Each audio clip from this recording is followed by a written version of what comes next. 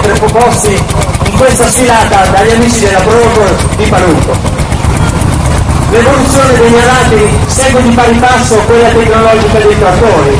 Ecco perché chiude la sfilata un potente trattore trainante, un arato più uomini, capaci di dissodare più solchi contemporaneamente, riducendo così i tempi di lavorazione ringraziando la, Palo- la Proloco di Palocco e tutte le altre 44 Proloco partecipanti, vi salutiamo e vi diamo appuntamento al grande ristorante sulla piazza che vi offrirà a voi i 47 menù proposti dalle nostre 45 Proloco e dalle due Proloco ospitanti. Buona giornata a tutti e buon appetito, l'appuntamento al prossimo anno.